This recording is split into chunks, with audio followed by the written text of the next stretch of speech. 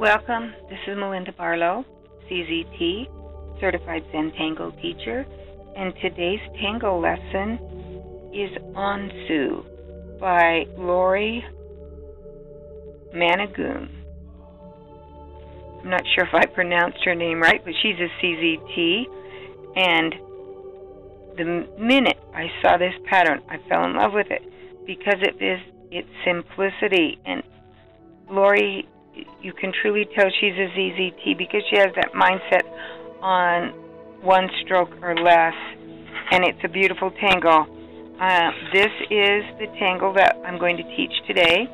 Right here, I've added little things to it, but you're going to find it's very basic. It fills in around other items. I've also done it on a little round tile, and um, lately I've been doing a lot of bookmarks just because I'm a librarian, I I just like bookmarks and my I, I find it easy to do a monotangle on a bookmark when I'm teaching my students in the class at the library.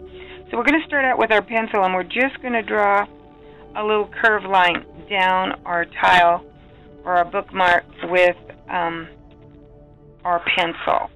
And then we're going to start with Ansu.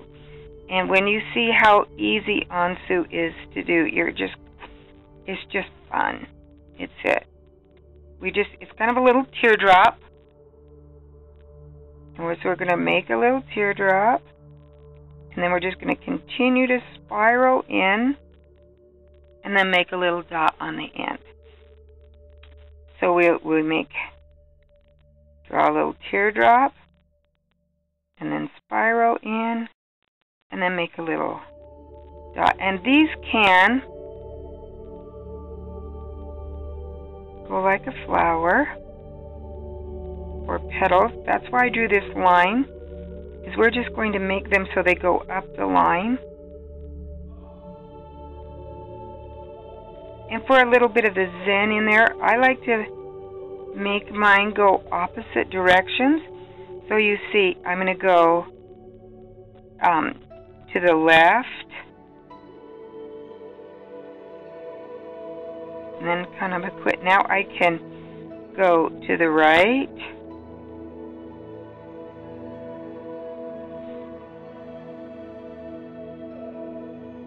You can always go to the right if you want or to the left.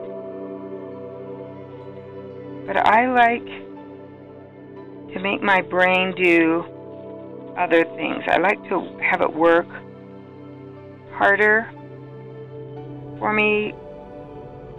And so I want to, ooh, that one's going to have to be a little holly because I made it a little large.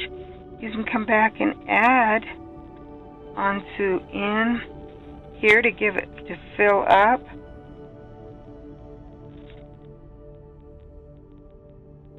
But it's just that little teardrop and then echoed in. You can see I'm following that pencil line up. Drawing that pencil line helps me give a nice natural curve and so I don't have to think about where I'm putting my Ansus. I can just put them anywhere. I can also turn my tile so that my Ansus can go in the opposite direction.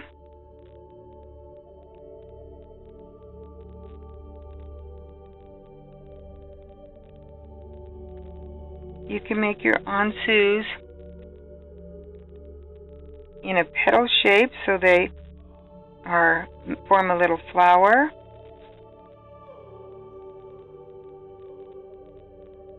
But isn't that a fun tangle. I have to thank Lori so much for sharing this beautiful pattern with us. I will put a link to step out for this pattern below.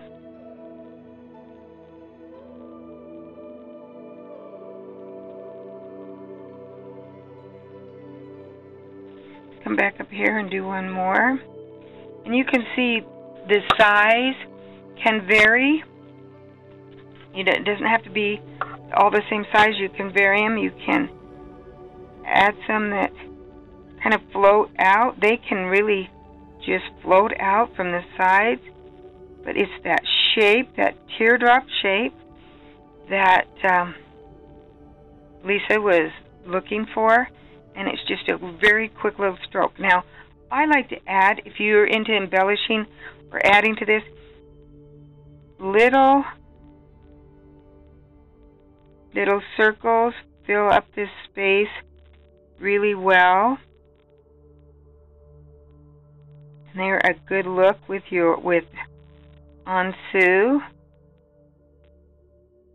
And you can kind of just go up that pencil line that you did.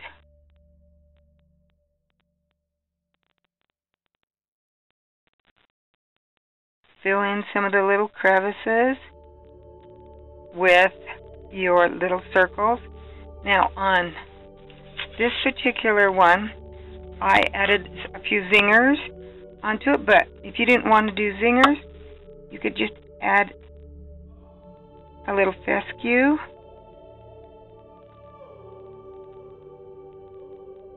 I've added bead line. That's another one to add. Great fill-ins.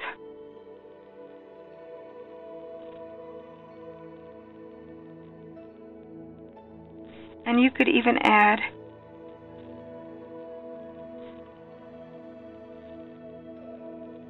just some little viney vines out on the edge. Those I just do little squirrels, swirls, squirrels, swirls. And there you have Ansu. Now, I colored this one with some colored pencils and then blended it with paint thinner. And that's a fun way to get a different look. You can put your colored pencil or your um, graphite right down in the tip of Ansu. As you know, I firmly believe that shading makes the difference in your tangles. And this particular tangle does not have a lot of contrast, so it definitely needs some shading because there's not a lot of black in there. So I've just put a little bit and then I'm just going to draw out that graphite, probably up just one side of Ansu.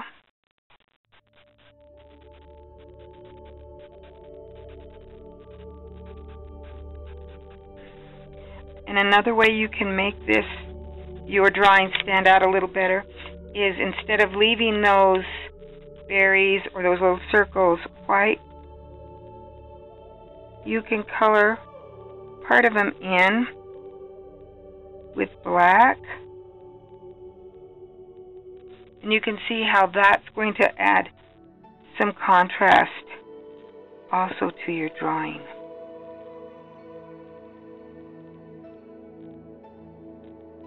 just go ahead and add those all the way down.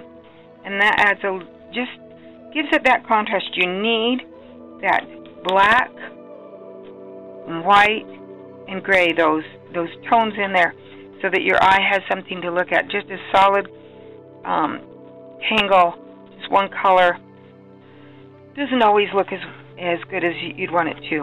And so there you go. I had somebody say to me, why did I cover up one of my drawings? So I'm going to put them out so you can see all my little Ansus with a couple other drawings with it. Let me get them up under the camera. And I hope you enjoy Ansu. Um, if you want to support my channel, it's greatly appreciated. Um, you can do that by going to my directly onto my YouTube channel and clicking on the support button. And leave a message, leave a comment. I love comments. Try to answer most of my comments. Um, if you haven't subscribed, subscribe so you don't miss a single video. And thanks for watching.